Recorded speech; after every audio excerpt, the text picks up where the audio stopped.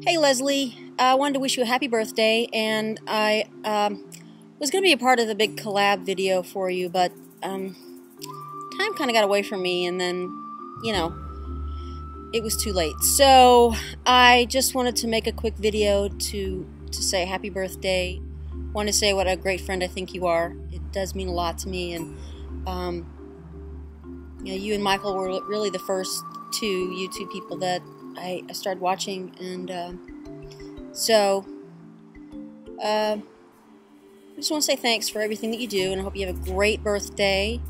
And I guess that's it.